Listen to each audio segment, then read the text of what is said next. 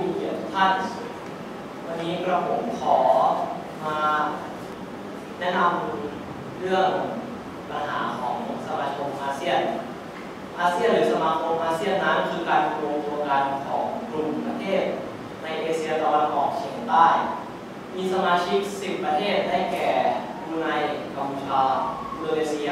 ลาวพม่าฟิลิปปินส์เวียดนามและไทยก่อตั้งขึ้นเมื่อวันที่ 8 สิงหา2510 โดยเมื่อรวมตัวกันคาดว่าน่าจะมีประชากรถึง 590 ล้านคน และมีพื้นที่ประมาณ 3%ของโลก สมาคมอาเซียนนั้น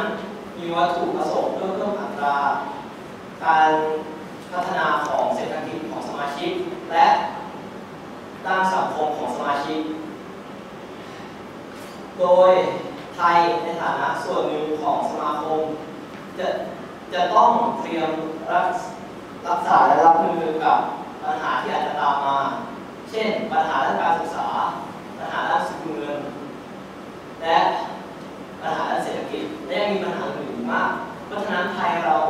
ควรคิดวิธีที่จะเตรียมการไว้ล่วงหน้า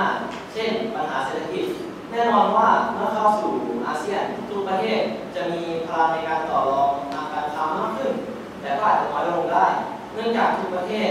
มีการพัฒนาทางด้านเศรษฐกิจร่วมกัน ทำให้เมื่อหนึ่งในประชากรในกลุ่มมีเศรษฐกิจเปราะบงทุกประเทศจะต้องได้รับผล